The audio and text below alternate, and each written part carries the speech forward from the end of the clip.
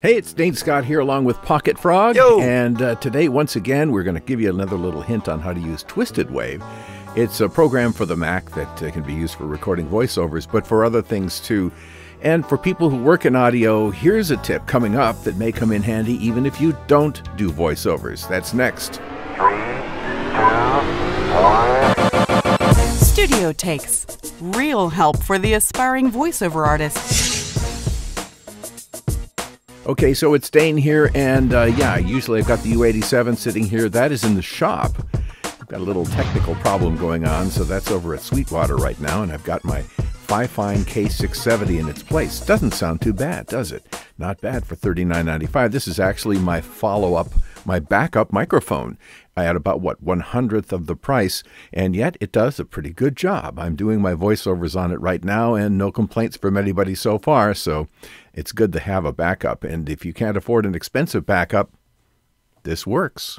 All right, today we're doing something with TwistedWave. Uh, TwistedWave is a program for the Mac which is very, very simple for people who want to do voiceovers and they don't want to have to deal with a, a program that's actually designed for producing complicated music on multiple tracks.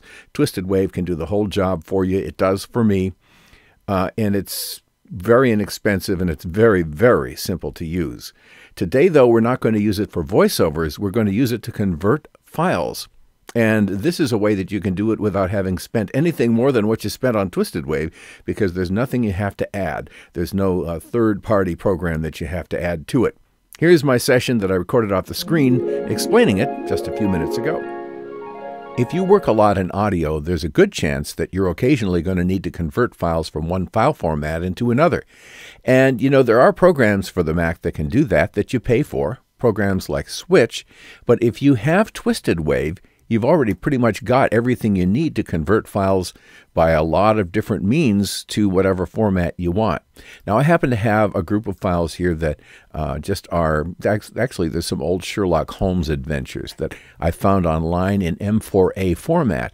I'd like them in MP3 format for my particular uses.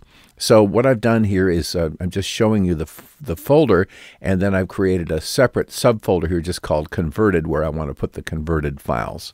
Then we'll go to TwistedWave. And from the File pull-down menu, I'm going to choose Batch Processing, which brings up this little window here. I will now select all of the files over here, and we're going to drop them into this lower window pane right there. That just indicates the ones that we want to batch process. And then we're going to add just one action here inside of uh, the batch processor, and that is save. Okay, and then we'll hit edit on save. And rather than original location, which means that the converted files would go right in the same folder with the ones that are already there, I'm changing that here to the folder that's called converted, just because I don't want to get them all mixed together. And then for the format, rather than keep original, let's make them uh, MP3s. That'll take uh, maybe you know 30 seconds to a minute to do, but we'll go ahead and wait for it to happen. I'll click OK, and now it's all set to go. All I have to do is to click Start Processing, and it, this actually is capable of up to eight concurrent tasks, so that means it's going to start processing all eight, or in this case, all six at once. So I'll click Start Processing. And while that's running, I'll actually go into Converted, and you can see that it already has created temporary files for all the MP3s it's about to drop on us here and it's working on those right now. Well, we can actually watch the process, and you can see that already. Um, let's see, one of them has been converted. Uh, others of them are losing their TMP status, meaning that they are done. And um, surprisingly, there's no kind of an indicator here showing, but you know, okay, once it was all done, it just went away. And so all of those files now have been converted into MP3s.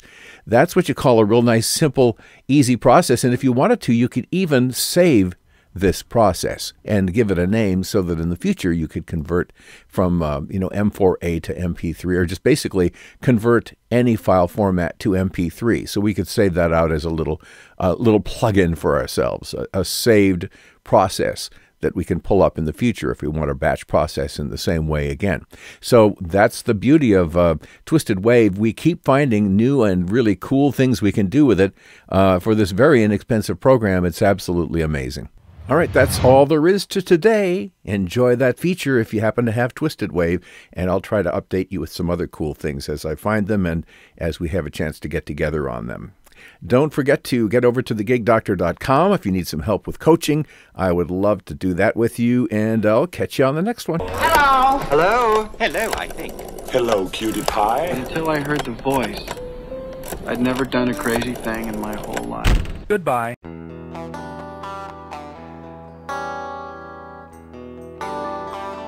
Bye.